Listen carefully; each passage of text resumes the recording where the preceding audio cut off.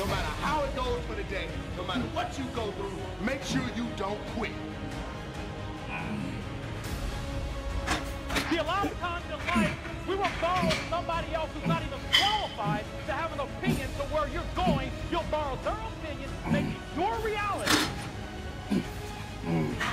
And it has nothing to do with you until you accept it.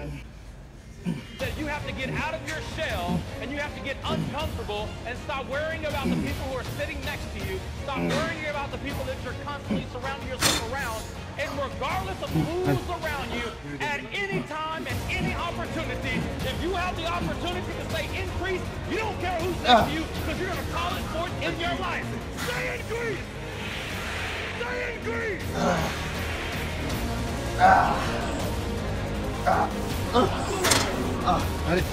See, I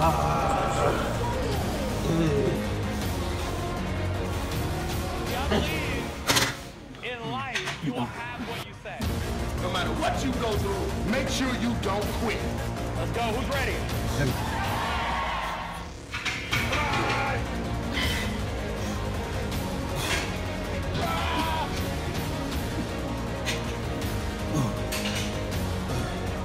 Because every day, when things go wrong, they sometimes will.